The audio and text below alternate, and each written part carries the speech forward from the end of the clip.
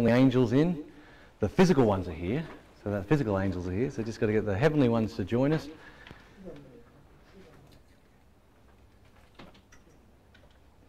Ian, would you stay seated? We just stand and we'll hold hands and say the Lord's Prayer? Ah. Come on, Levi, we'll.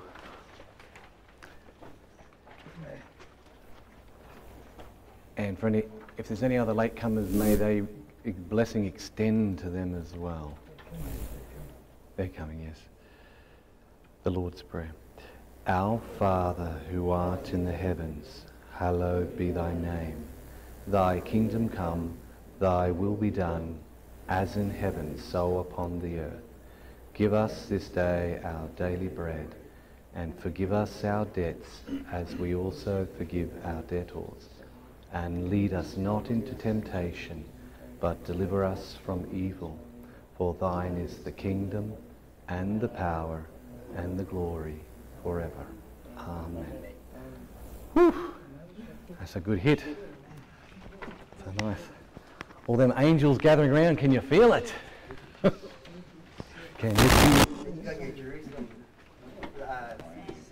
Oh, Jesus sandals, you know.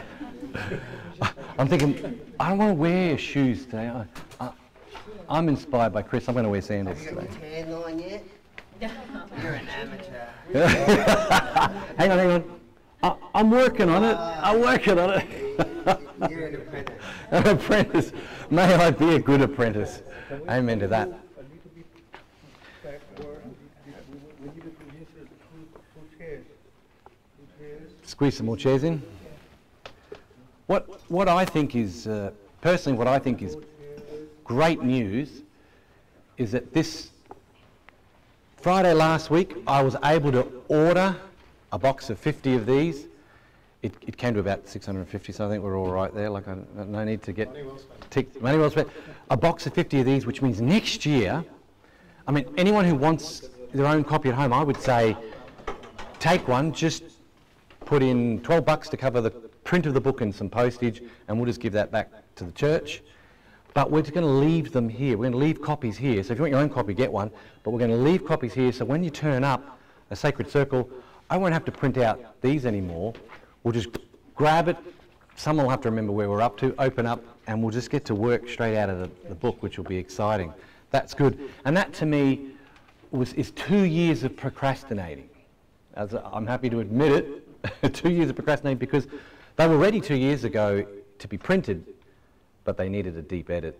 And I wasn't ready to do it. And then I finally got in and did the work. And like you said last week, Dan, oh, I think it was last week you said, there just comes a point where you've got to go, it is what it is, just make it happen, you know? And so that's got those ordered, and I got an email yesterday to say they're posted already. They'll be they'll arrive in a few few days. So I'll bring them here, and we'll have them for next year. So right now we're in the in the middle of doing part two. We did last month. We did the rich fool, and that was an excellent session. I thought it was great. And we're doing part two because it's just such a big discourse from the Lord that it really had to be broken into two. But let's remember the wealth that the Lord is trying to highlight to, he, to us here is all about self.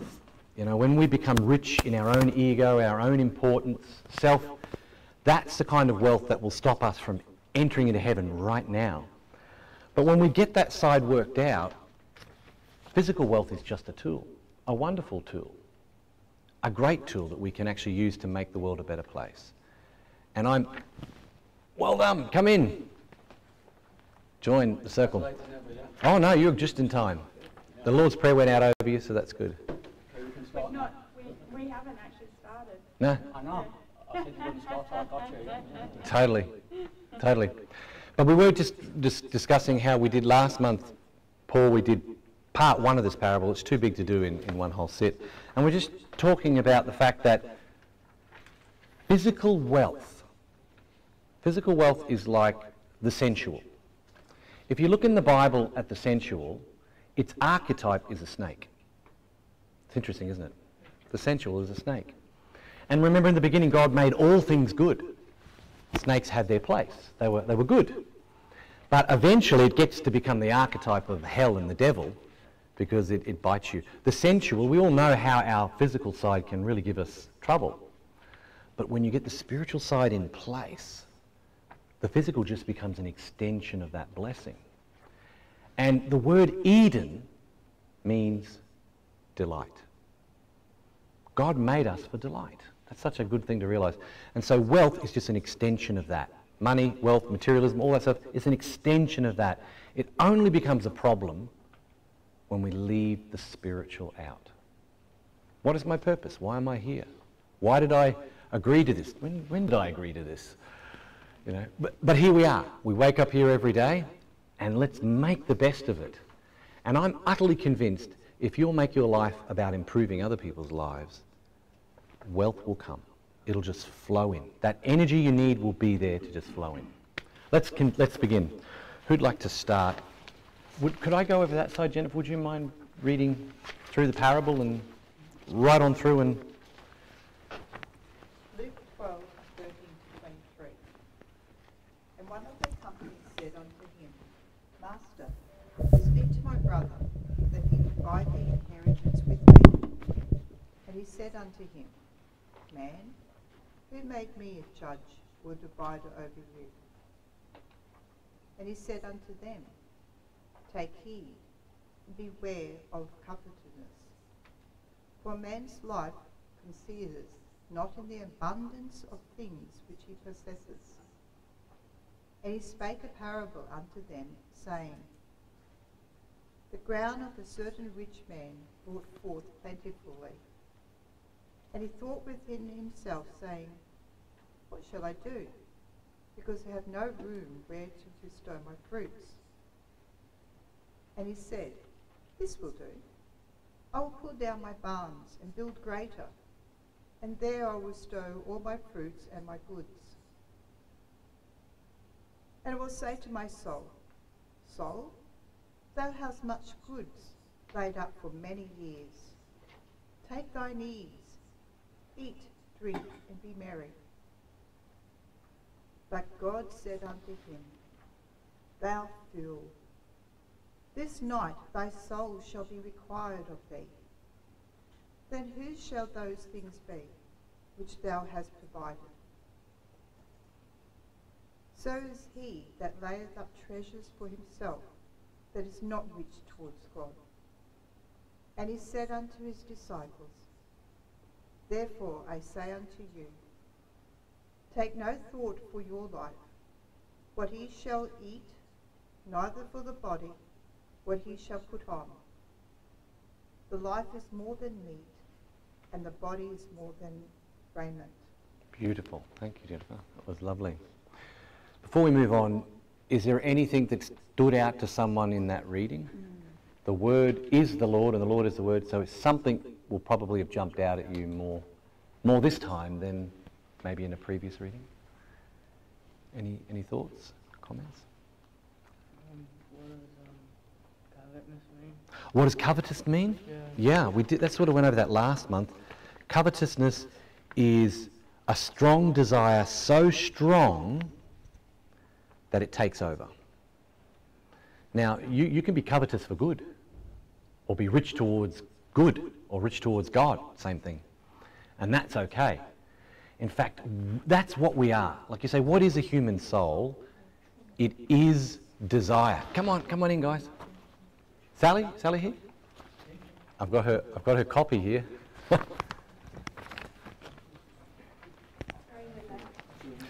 no.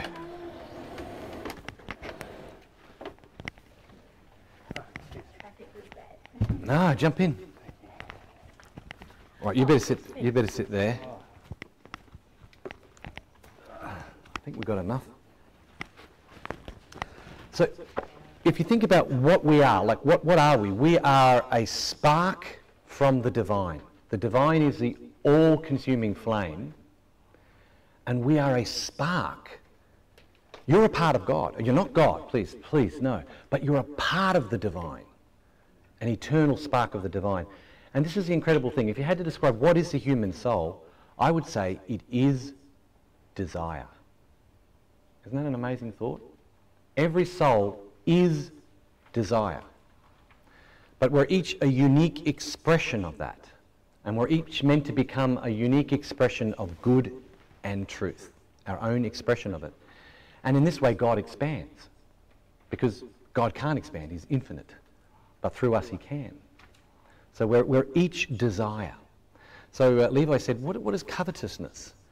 And we're talking about covetousness is basically the soul's energy to, to desire.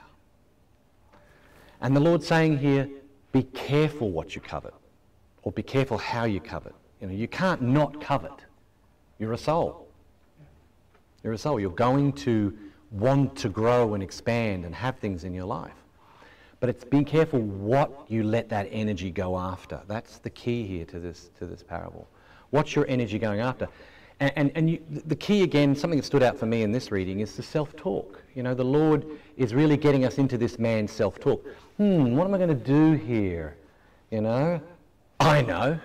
And we all have this self-talk, isn't it? You know, when you have a problem, you start having a conversation with yourself, don't you? And you start trying to figure out what I'm going to do here.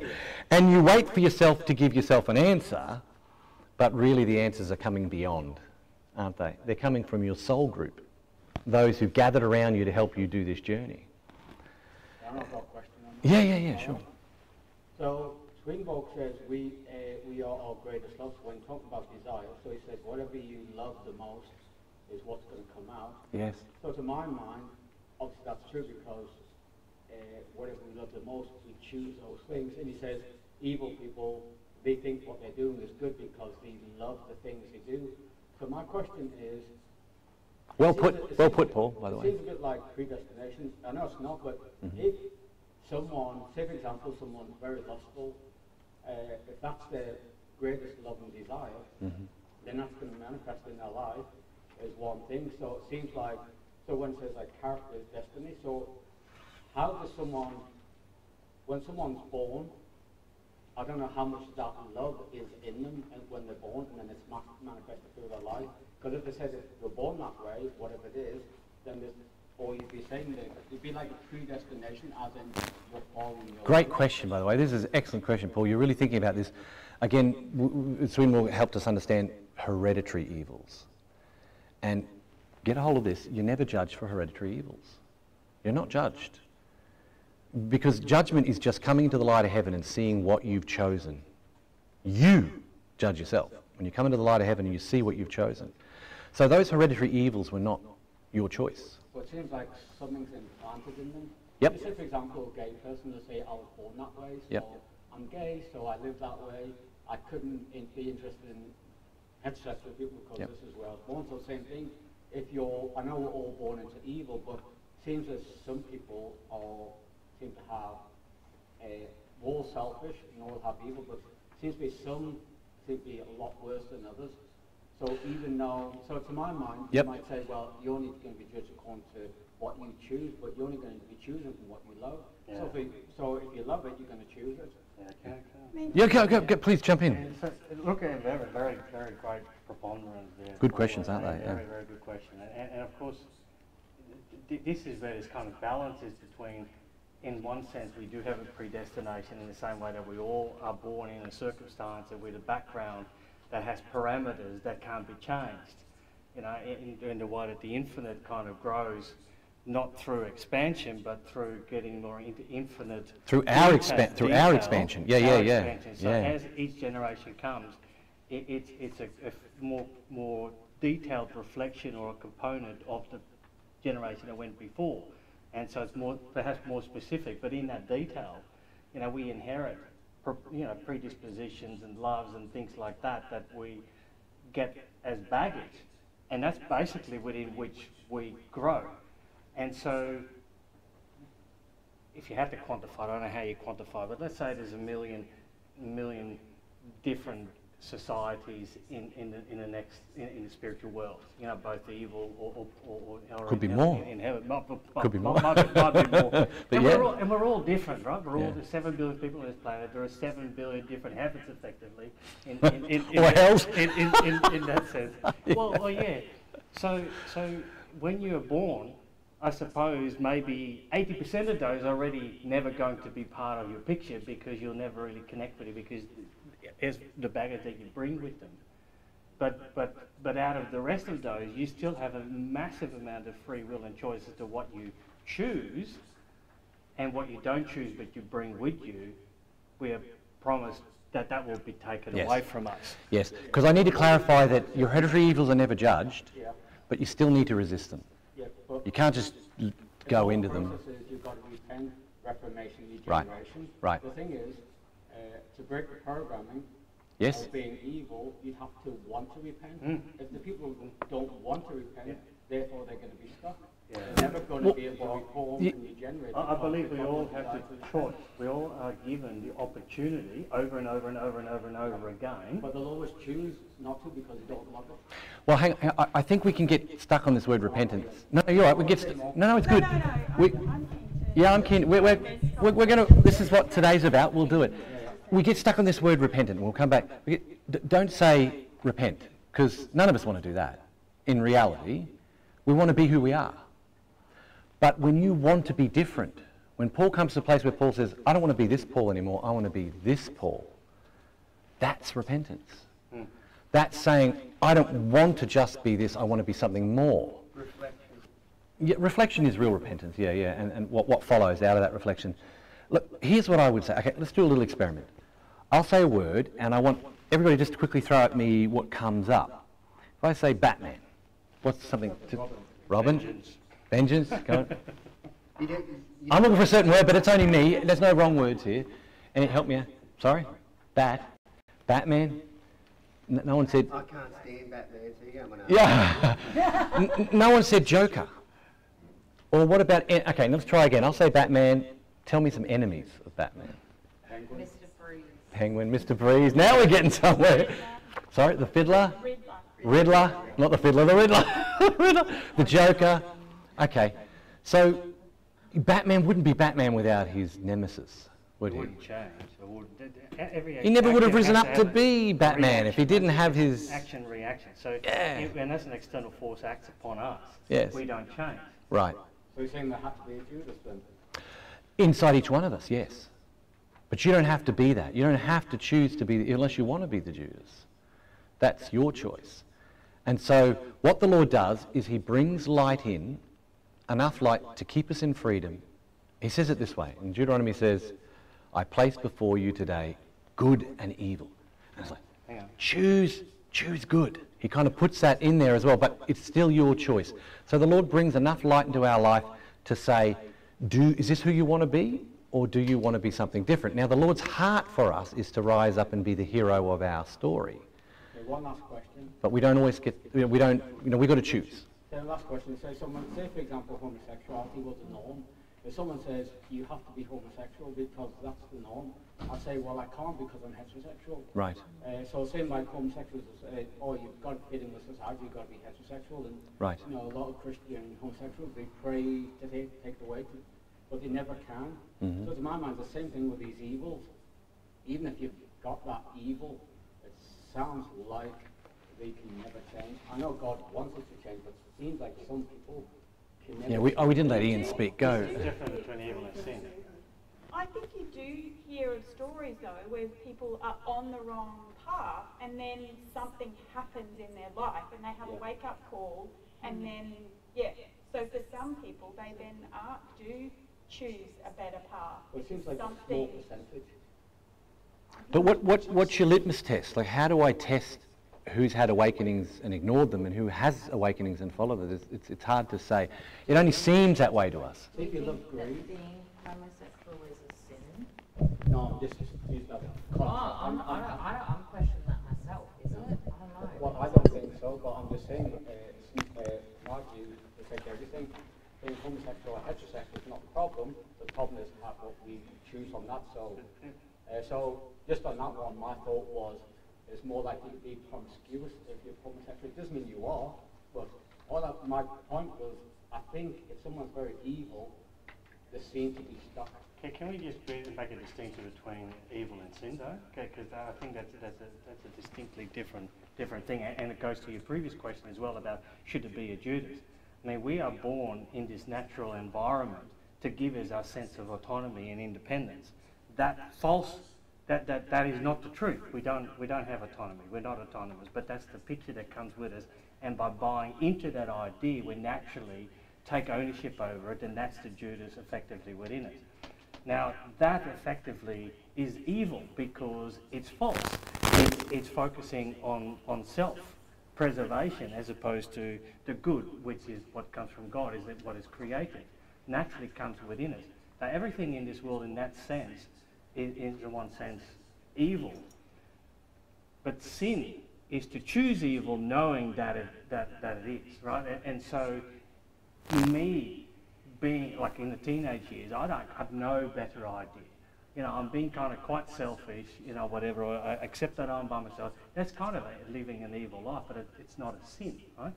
So, but as soon as Which, which by the way, Jesus says, if you were blind, you'd have no sin. But Yeah. because you claim to see, you have sin. That's kind of exactly. So a- as, as you, if you if you agree and appreciate why it is evil or, or what is true, and then you still choose it, well, now it's part of you. Now you're really choosing to own that, and it can't be taken away from you because you've taken ownership over it. If something has been within you and you feel you have no choice, but you don't necessarily choose it, that's not part of you. That is just something that, that's part of your baggage that you But they're carry. because you love it. No, no, no. Well, well Well, they- so, so If they don't see the evil in it, uh, I guess they're absolved. from Well, another thing is, is that they love their evil, so they think that evil is good. yeah. They think what I know where you're coming from, and I, what, I know where you're coming from, and now we're probably at the point where we, Curtis where, spoke about this yesterday. Did he? Did he? Yeah. a short, I've, I've got it here, Yeah. get it to like a minute. go, Yeah, exactly what you're talking about. Put near the microphones so people on the, cam- on the video Doing hear. this is evil. Anytime you get around religion or you're talking about God, suddenly everything's evil. Don't do these things. They're evil. This is evil. This is sinful. Like, lay off, man. Why are you so hung up on these particular actions? This is a system that's doing something awesome. It's making light. There's a lot of actions you can do that are just fine and actually work with the system. Do this, it disrupts the. In human beings, the systems that allow us to have loving relationships with each other, develop spiritually, those systems, evil is whenever they are disrupted. Evil and sin, viewed in themselves, are nothing but a rift with goodness. Evil actually consists in disconnection. A cut is just your skin going apart when it should be together. A broken bone is something apart that should be together. God calls certain things evil and says don't do them because they disrupt or destroy the systems that are meant to bring love and connection to human beings. Doing this That's great. That's good. good. I just think that people- I I sent that to my family and they've just gone, that was explained. So well, yeah. Anyway. Yeah. No, I think you. I'll have a coffee with you afterwards, and we'll we'll pick this up because I can see there's. Look, every time you get a piece of the truth, ten more questions are going to open up. So it's good stuff.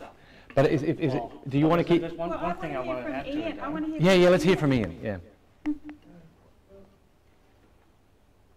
We actually have a very, very narrow um, platform, whatever you like to call it, when it comes to freedom.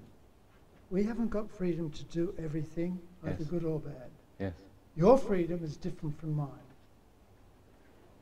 Secondly, I just want to endorse what Core said. We have impulses, like the word about it destroys the system. That's what it's. Evil is whatever jiggers up the system.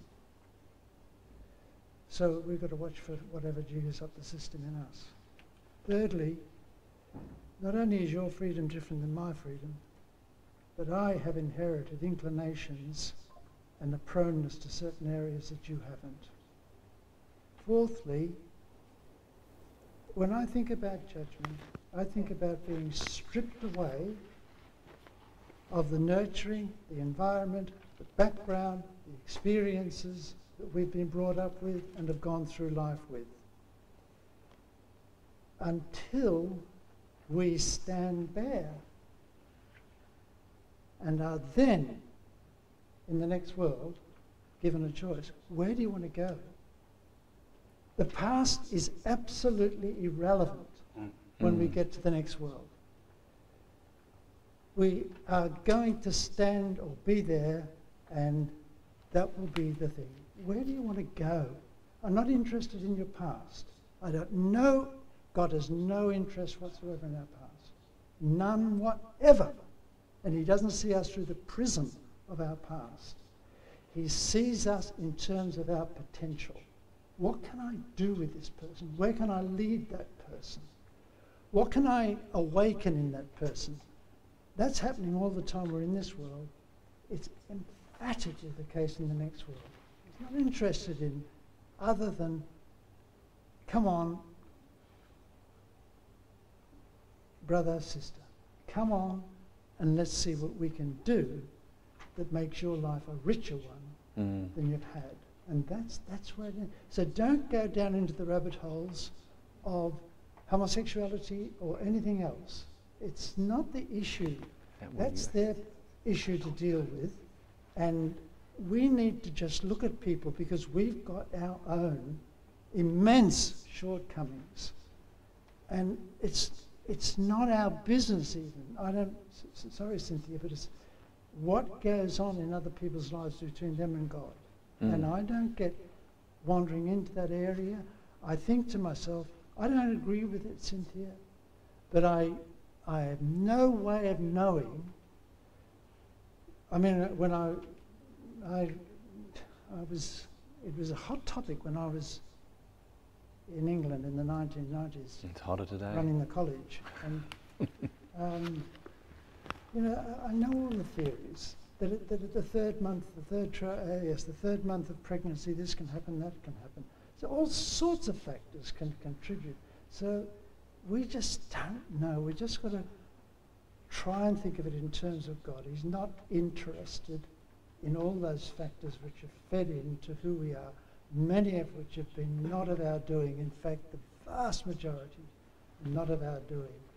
And uh, I'm actually looking forward to um, being stripped of my background because I was brought up in the immediate aftermath of the Depression and the Second World War. And I know that to this day, I carry the um, Mm. Mindsets of that time and of my parents, and I am mindful of them but can't do anything about them. So I'm waiting till I get into the next world, and then I can be in a much more enlightened state. That stuff's going to be stripped off, and then somebody's going to say to me, Ian, who and what do you really want to be? Mm, beautiful. No, that's great, Ian. That's fantastic. Thanks for prompting us to get to what you were saying. One other thing to leave with us, particularly for, for you, Paul, when I used to work with the kids with difficult behaviours for years, you know, you, you, you don't mean to, but you can, you'd see workers putting, you know, why is this child here or why is this child doing that? Other kids can do this, why can't they? And a term that seemed to come up really helped me a lot was distance travelled. You know, I had one, one, one kid I worked with who, to get him to go to the shopping centre, was a mammoth milestone. And once we did, and he was actually stopped, had anxiety, the world opened up for him. But even just going to the shopping centre was, was a trauma that he couldn't cope with. And so I think that, you know, what Ian's saying too is that the Lord's looking at the distances that we've travelled, rather than, you know, whether you're homosexual or not, whether you're this or not. It's the distance that you're travelling, and are you truly becoming you? That's, you know, th th that, that's what I meant by bringing up hereditary evil versus the evils we choose that we really want. Yeah, okay. So we'll leave it there, but it's going to be a good coffee conversation. Let's, Jane, would you mind reading into the, to the intro? Just underneath there I've written, the word has the power to transform temporal moments, actions and states into eternal spiritual events. This was big for me, sitting down to really try to get to the sense, the deepest sense of this par- parable. That's what was coming up for me again and again and again. The, you know, the rich man that had soil that brought forth plentiful is your mind. Your mind is the soil that can bring forth plentiful again and again and again. It, the word can sown into it, can be sown into it, and it can produce incredible things. But are you, you know, is, is your whole belief system and, and your framework about what you can create for you, what you can store up to glorify you, or is your mind being used to create a better world? Because heaven and hell are the creation of man. They really are. And hopefully, each one of us here, by the grace and power of Jesus Christ, is going to make heaven better. Just that not- bit it's not- better. It's not what you do, it's why you do it. It, it's all of it, isn't it? It is what and why. It's all. It's not just one, is it? No, it, it's definitely right. Yeah. So let's let's keep that in our mind as we dig into this parable. Would you go take us through the intro, Jane, and then we'll. Uh, excellent so far, but let's hook on in so we can get through the parable this this week. Without genuine spiritual perception, our ego believes that it is the source of all goodness and fruitfulness in our lives. We owe all to the source of life, the Lord. We owe all to yeah. When we have a living acknowledgement of the divine as the source, we seek to live a useful life that helps others to succeed and prosper. When we lack spiritual perception, we also lack the true meaning and purpose of our earthly existence. Without wisdom, insight, and purpose, the soul will not ponder life's true meaning. Instead, we will become distracted by merely acquiring this world's goods. When preoccupied with this pursuit, the soul becomes lacking and unprepared for the next life after the death of the body. Therefore, this world's riches are not the real concern of this parable. Wealth in the hands of the spiritually minded empowers their life to become wonderful, deep, and meaningful. It aids our goal of stepping into eternity now. Equally, wealth separated from one's life purpose will blind those who have no desire to understand the true meaning of our existence and thereby limit each moment to the temporal and that which is passing away. Mm. Okay. Any thoughts or comments on that? We move. Well, for Yep. uh, it, it, it, the, the, the thought comes up, you hear it all the time, as people say, oh, that's just who I am. It's me. This, this is me. This is who I am. And that gives a fallacy of, well, I can't change. or- Right. Or, you know, thi- this, this is it.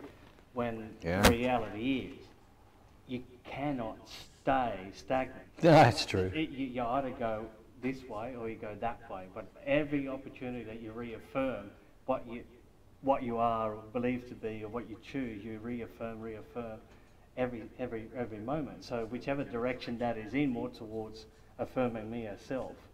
And I, I can't learn anymore. Uh, I'm not open to hearing anymore because, you know, I know everything, you know, or it is, you know, which is the rich, rich fool. The rich fool, Rich yeah. fool. Or it's like, well, hang on a moment. Let's me park aside the idea that I think that I'm pretty clever yep. Okay. and go like, well, maybe, maybe I can learn something. Maybe I can change. Maybe there is something else to it. Maybe I haven't got it all right. You know, it's, it's one of those two. But when you say, I am, this is me. You're then blocking kind yourself. Of blocking You're blocking yourself. Yeah. Yeah. And therefore reaffirming the choice again that you have, that, that, that you are yourself. Well, You- uh, here's an example. Alcoholism runs in my family. So in my 20s and 30s, it was, oh, it runs in my family. It's not me. Mm-hmm. That's just so.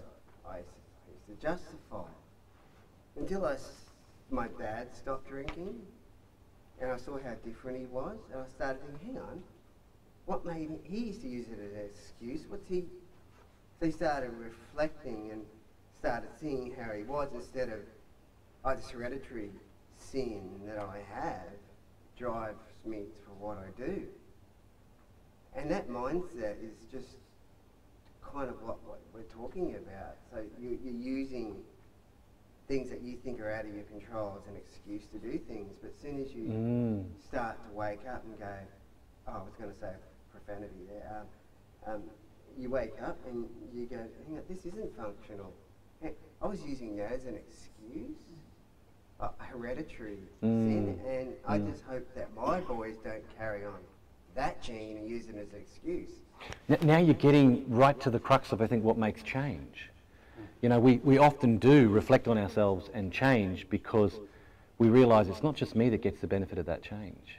It's everyone around me. Now that's beautiful, Chris. That's, and that's love, isn't it? That's, That's actually what I was thinking about, because um, when you're saying here that um, to live a useful life that helps others to succeed and prosper.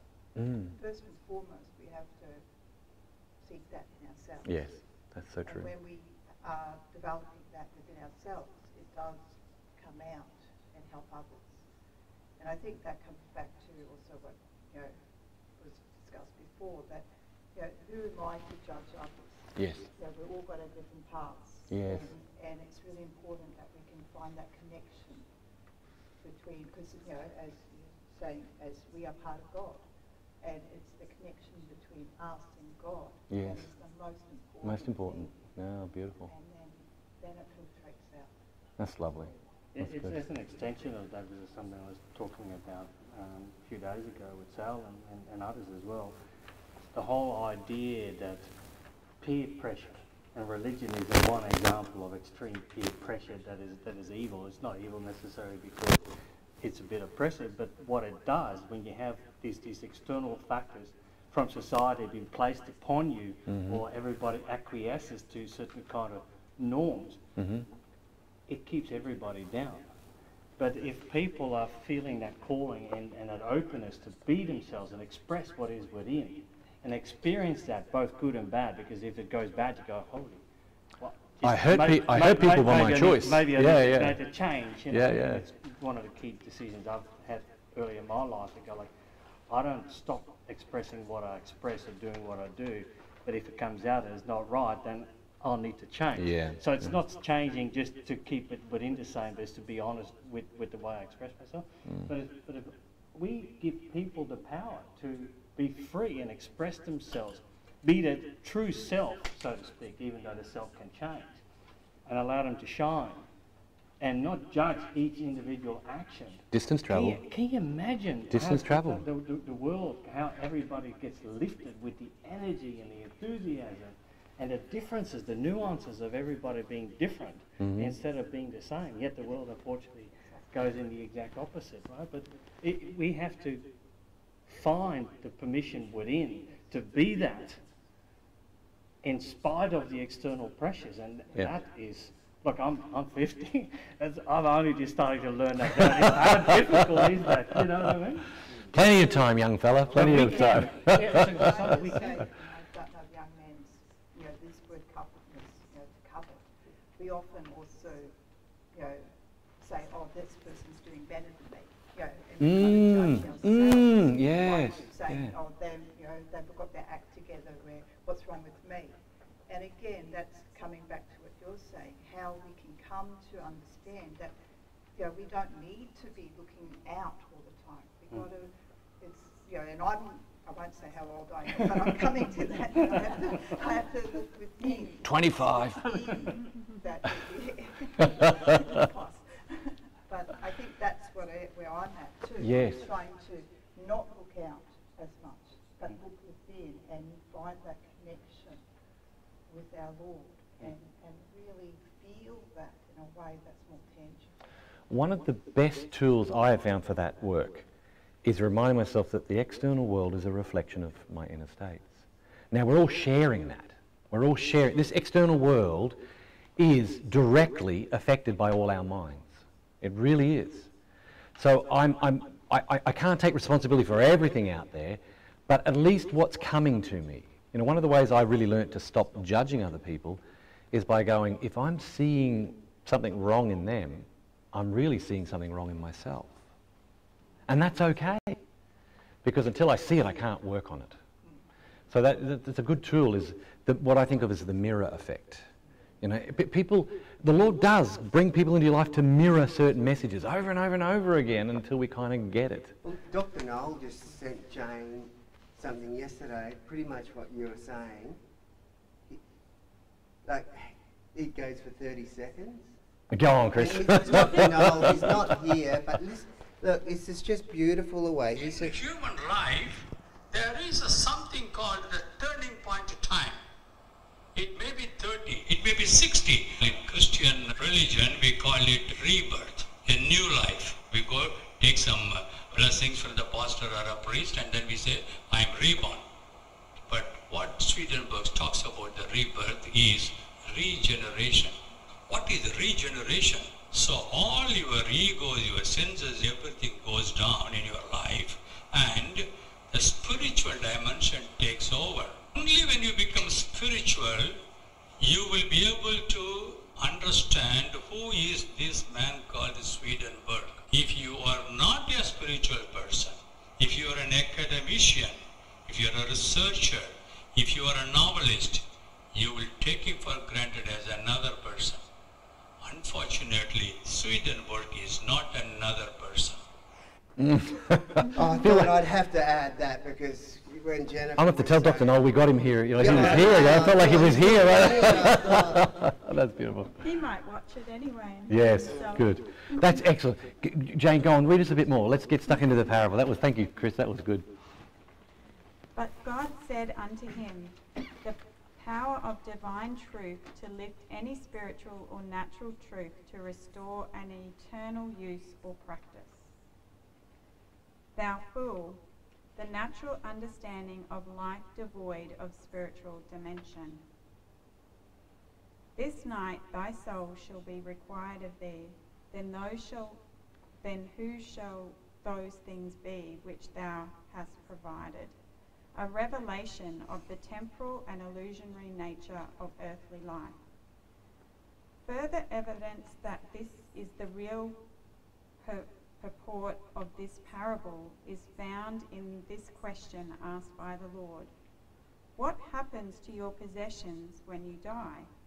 The answer is that we cannot keep them. If we love our possessions too much and attempt to find happiness in them, we will lose our life. Instead, if we use them to assist our true purpose in elevating the soul, leaving possessions behind is no issue. All that we truly own are the loves we carry and cherish in our soul. Now, I want to jump in there quickly and talk about a memorable experience Swedenborg has where he's kind of talking about people that are, you know, covetous for golden things without a spiritual use. And he would say, you know, he, he walked into this situation where the soul was sitting there in a dark cave with the candle burning, counting all their gold. In the spiritual world, they're doing this, counting all the gold. And then this is what Sweden, Swedenborg is seeing what's going on in their mind. And then kind of like the light of heaven comes in and they're sitting there playing with dirt. They're just, you know, just playing with dirt. It's my gold. It's my gold. And this is, you know, this is the nature of the mind. You know, when, when the mind is lifted up into the light of heaven, we see things as they really are. But when, we're, when, when it's not, when we're caught up in love of self and things like that, then the ego will paint everything in an illusion, in an illusion in that sense. And so, Scrooge, so Scrooge was Yeah, I tempted, didn't he? yes, He was a. Christmas time is Scrooge. And then he wasn't a miser. Yes, well said, Paul. That's very true. And this is, you know, but, but this is not to judge because we all do it. We were all children playing with our marbles once. Give me back my marble. I'm using an analogy. But you know, even today, we still feel the pain and angst over losing something, you know, and, and that's okay. It's part of the process. What we've just got to keep reminding ourselves is I'm on a journey here. I'm on a journey here. This is, this is not the, the end goal. This is a part of a process of something much better. That was lovely. Jay, can I get you to do a little bit more reading? Or does anybody else want to comment before we do? Comment or... Well, on the journey to hell. And all we can try and do is, is try to help them see the destruction that they're headed towards. But, you know, the, the saying is you can, you know, you can lead the horse to water, you can't make it drink, can you? Yeah, I've got something. Um, just Yep. the whole thing about what's sin, what's not, and all that. Yeah, yeah. What was coming to me was, it's it's pers- it's a personal relationship. So what's right for one person Yeah. might be wrong for another person, depending on what the Holy Spirit's saying. Like Yeah. I've got a friend, and he became a Christian, and people are judging him. Oh, how can he be a Christian? He's still doing heroin and all these things. But he's generally having a relationship with the Lord. The Lord's not going to zap him and all of a sudden everything's gone. No. As long as he's relating with the Lord Yep.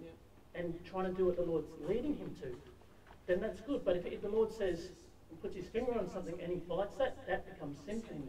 Right. So all personal. That's why we can't judge another. If God were to zap that man, he'd be a dictator. Yeah. And you can't have a relationship with God where he's dictating. He's loving and you can do this, you can beat this, you can overcome this, or whatever it is. Yeah. And that's why I think it was Peter, or one of the disciples said, I tell this other disciple to do this. And, and, and Jesus said, hey, that's between me and him. It's none of your business. You just worry about you. Well, did anybody? If I can, if I can add an Yeah, yeah. analogy, years ago, a good friend of ours from a Baptist church, when we were doing Bible study, he, he kind of expl- expressed this, and it stuck with me because it's such a nice little little way of describing what you're saying. Is that because when we're judging, and, and you know, a person says, "Hi, this is what I see on the road." So we're on the road.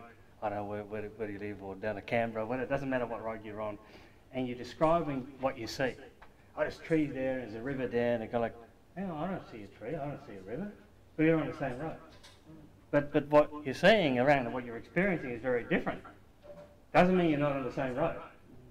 It's meaning a different part of the, of the road. You Yeah. know? Different Uh, part of the different part of the road. Different part of the road. And Yeah, that's how nicely that's- put. That's, that stuck Yeah. with me. They go like, that's, that's the whole thing about judgment. They go, just because you don't see the trees doesn't mean you're not on the same road, you know? Let, let me just draw you back to the to the words of Jesus here for a moment. Right back to the very beginning there. Uh, uh, he s- it, it, second line, and he said unto him, "Man, who made me a judge or a divider over you?" Is it, isn't that provocative? Because what is the image that many Christians portray of Jesus? That he's the judge. You know, that he's King of Kings sits on the throne, you better watch out, buddy. Yeah, an executioner. But he's kind of straight. Someone comes up to him to sort of say, fix this. And he's like, you're not getting it. This is your journey. You, you, you know, I'm here to shine light into your life and encourage you, but it's your journey. I'm not your judge. That's profound. Just that right there is profound, isn't it? And it's very easy to miss that one. Okay, so go on, Jane. You're doing such a great job. Read us a few more. So is he that layeth up treasure for himself and is not rich toward God. The lower ego's preoccupation with self gratification, but no regard for the state of the soul. To be rich towards God means that we care for the state of our soul and that of others. We long for greater resources and gifting so that we may help our brothers and sisters and advance our own soul. In this way, we are laying up treasures for the kingdom of God and not for ourselves. The purpose of life is for one and all to be useful and render use to each other in love and care. This is what the Word is teaching us. Natural wealth used for such spiritual purposes blesses everyone, especially the steward of the wealth. On the other hand, such riches, if spent solely on selfish pleasures, become a bondage to the temporary owner. Spiritual riches consist of a good character and the willingness to make others happy. Such an advancing soul is pleasing to God, and the Lord will prosper them in every way. Seek ye first the kingdom of God and his righteousness, and all these things shall be added unto you. And you know, all these things shall be added unto you, because we often quote that, don't we, Chris? It's one I've quoted many times over the years. I hear friends say it. The, the disciples were saying, We've given up houses. Some of us have given up family and, and friends. You know, what are we going to get? He says, you know, he, he says, Seek first the kingdom of God and his righteousness, and all of these things will be added back unto you. You- know, it's not like I'm so spiritual I can't be concerned about having a home or family and friends and all that sort of stuff. You know, that's part of spiritual life. Having somewhere to rest your head, somewhere to having family, somewhere to cook a meal, somewhere to care for people. It, it gets right down to the very core of what it is to be spiritual. You know, am I actually helping people, helping myself and others? That's the core of it. You can go sit in a tent somewhere and say, I'm so spiritual, I own nothing. And you, you have nothing as well, no spiritual work at all. There's nothing there in it. It's an illusion, a lie. I think Okay. Morgan Freeman said, rent for heaven, for our room in heaven is service to others. I like that. That's mm. beautiful, isn't it? That's great. Well, go on, Chris. Read something for us now. Does anyone want to comment?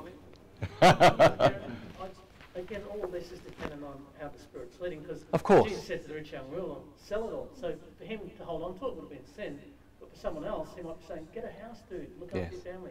And if he doesn't do that, then that's sin for him. So yes, but, it- but you're so right, Chris, because it says he looked at him and he loved him and said, Sell all you have and come and follow me.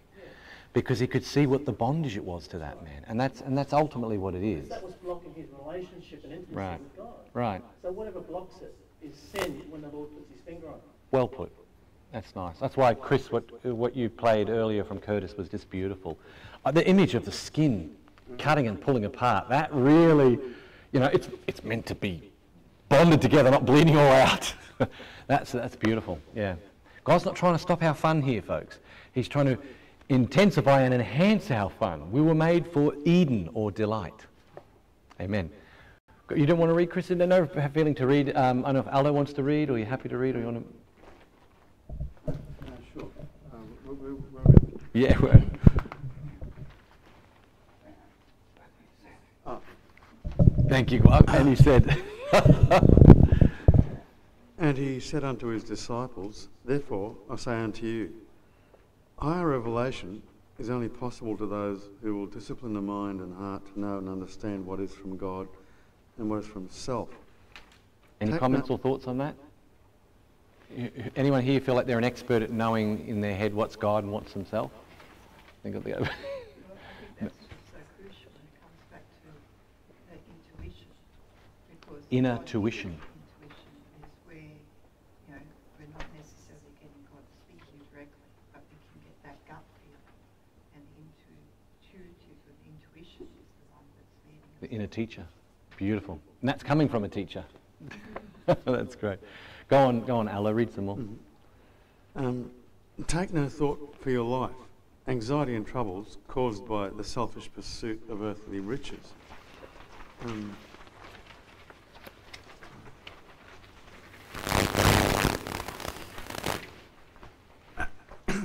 inside each one of us, there exists a higher calling that no soul should ever resist.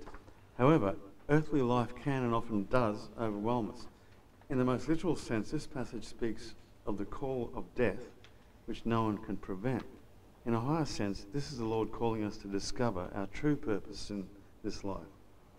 If we resist this calling, we become the fool who thinks they are rich but are poor towards the real meaning of life and God. True perception frees the soul from such temporal anxieties. That's a nice thought, isn't it? Real spiritual perception, when you have it, is free of anxiety. And that's, I don't know if you've been following the Christmas devotions. If- you've been following the Christmas, well, I said, if, if, if it's too much, please just ignore them.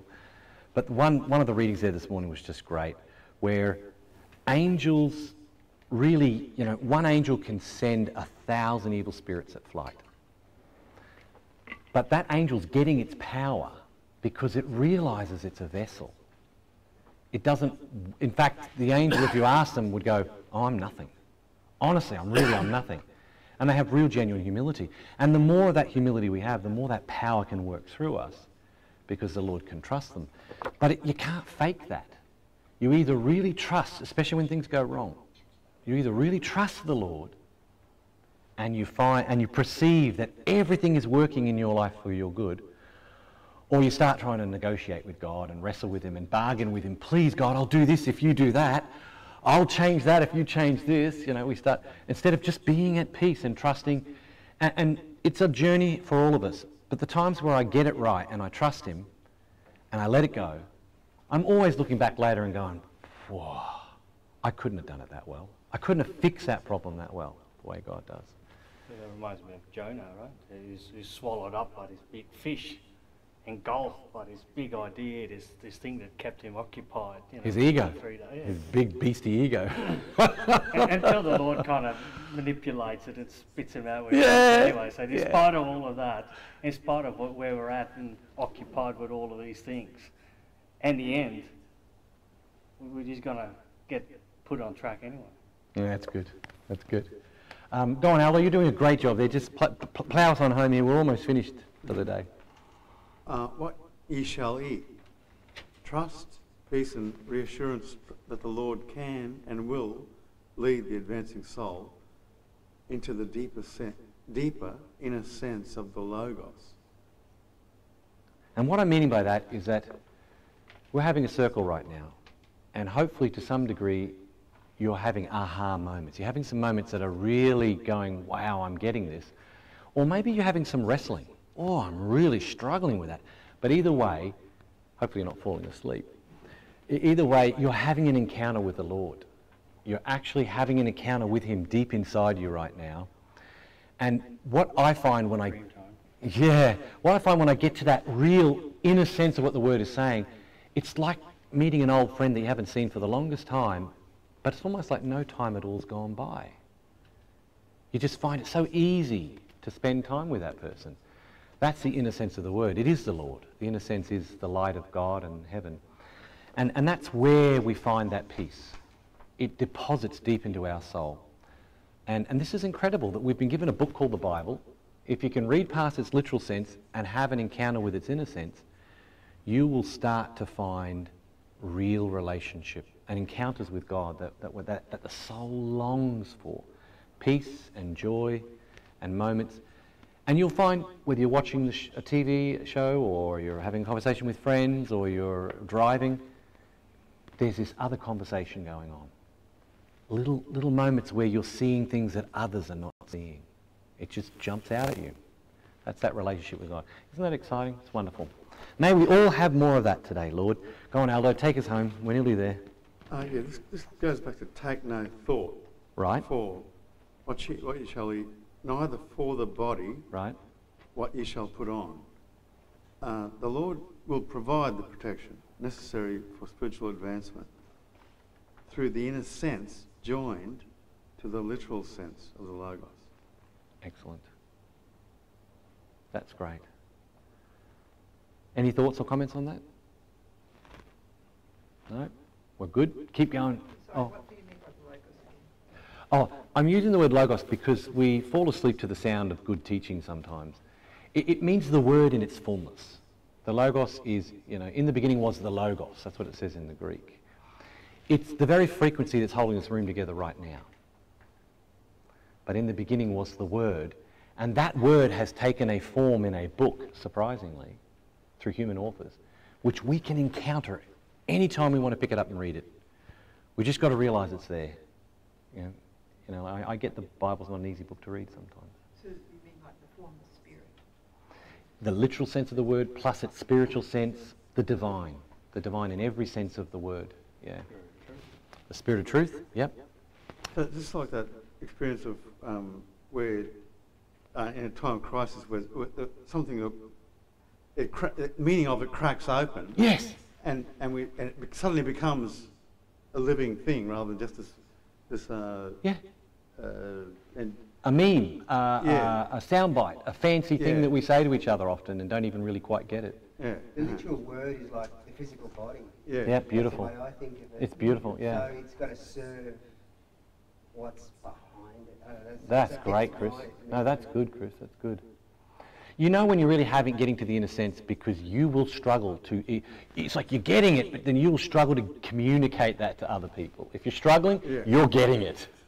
Okay, you just got to then also ask for the wisdom to try and try and transfer that to everyone. All right, would uh, Sean, would you read us the last couple and then the and then the conclusion? And we made it to the end of the. We went a couple minutes over. Yeah, yes, my my secretary. Your boss? Yeah, come on, come on, Sarah, take us home. it's a the life, no? Yeah, the life. life is more than meat, and the body is more than raiment. The externals of life are important. However, righteousness established in the heart and the mind is what leads to internal life. Natural knowledge alone leaves the mind ignorant of spiritual realities. In this state of darkness, we see what is of benefit to self as good. We believe we are rich in goodness when in fact, real goodness seeks to bless others. The power to know the difference is only available to the higher selfless ego. Right. When I, when I talk about lower ego and higher ego, what I'm, what I'm trying to help us understand is that God's goal is not to bring us to, and this is no discredit to anybody who's come from that kind of background, it's not to bring us to a nirvana state of, of absolute egolessness. That's not the goal. That's a part of the goal at times. Day two, we have these moments of being egoless so we can get a better perspective. Then we need to come back in and re-engage. But, you know, in Christian circles, we talk about the resurrection. What we're talking about is that each one of us gets to keep our ego, but now it's an angelic ego. It, it's, it's a sense of self that I am created to fulfill your life and your life and yours. And I have to worry about mine because everyone else is created to, to, to help me as well. That's that selfless ego. So you don't become some kind of blank uh, nothingness. That's not God's plan to be, you know. Amazing thought, isn't it? Okay, keep, keep going. Thank you, Sarah. Keep going. Conclusion This parable calls us to pause, consider, and observe what our lives will add up to once our days have been spent. What does the Lord require of us? What account must we give for our soul and life? Armed with these questions, sacred, sacred text implores us to seek the Lord and find our fulfillment in His purpose for our lives. Although such a journey is challenging, the Lord promises that it is the richest and most rewarding path. On the other hand, a life of uh, temporal, sensual pleasure is fleeting, while its stronghold upon the soul is everlasting. To combat such challenges, the Lord seeks to invade the realm of the temporal and fill each moment with the fragrance of heaven. Such heavenly encounters will free up the stronghold of the lower ego and release us from the cares of this world into the joy of everlasting love where eternity embraces the now. From this elevated state, we can find rest from the lower ego as we seek the way forward to the eternal city of light. Even the briefest, briefest glimpses of the heavenly city can fill us with strength and renewed vigor as we continue our quest, quest to our lasting home. Wonderful. Thank you. That was lovely. So here's the focus for you. If you so wish, don't have to. Look to introduce a daily practice, maybe several times a day if possible, of pausing and observing the temporal nature of earthly life. Allow your mind and heart to touch the eternal realm as you ground yourself in the truth that you are an eternal soul, a child of God. Now, I'd just like to finish with one last example um, from myself, you know, where I believe our goal is to live in peace. We should be living in that peace always. That's day seven. But this is a journey. And so you'll find yourself there several times during the day, and then you'll find yourself not there, you know, troubled. And it could be something someone says. Often it'll be someone, something someone says or does, especially if you love them. And they trouble you. And then you're very troubled. And now you're, you've lost that peace. And you're wrestling and you're trying, to, you know, whether it be you're trying to gaslight them, control them, manipulate them, or you're actually genuinely trying to help them. Whatever's going on there, you've just kind of sunk into your own personal little hell. And the Lord is trying to sort of bring you back out into a state of where you can just be. Just be with people, just be in this moment. Look, it could be you're driving down the street and someone screamingly cuts across you your heart's pacing. And you think, oh, I'm thinking words about this person I don't want to even utter. Boy, if I could have five minutes of their time and tell them what an idiot they are or whatever, whatever, whatever. Again, you've sunk into your own personal little hell. And the Lord, uh, the Lord doesn't want us to ignore these things. They're very important real events because they grow us. But here's what I would say. How long did it take the Lord to lift you up out of that? Was it five minutes? Was it five hours? Did you feel begrudgingly towards that person for five days? How long? That's a test of how well you're doing. You know, how you going here? Don't be put off by the fight. That's good. Just go, okay, Lord, I'm really struggling right now. And Darren was saying, you want peace for me. Help me. And let the Lord lift you up out of that little hell that you've been in and lift you back up into a moment where heaven can just wash over you with peace and reassurance. It's all going to be okay. It's all going to work. And you'll laugh about this, I promise, tomorrow or maybe the next day. Let's bow our heads and pray. Just after me. Dear Lord, help me to live with you in the now, to be like a child that is in awe of each moment, of each breath, of each heartbeat. Lord, when I'm distracted, bring me back and let me be swift to hear your calling. Amen. Okay. Yeah, well, we did well. We only 45 minutes, uh, an, an hour and 40, 15 minutes instead of the usual. So we did excellent. Great stuff we brought up there. We better have coffee now. I hope everyone's been edified and you've come away from the sacred circle encounter, encouraged.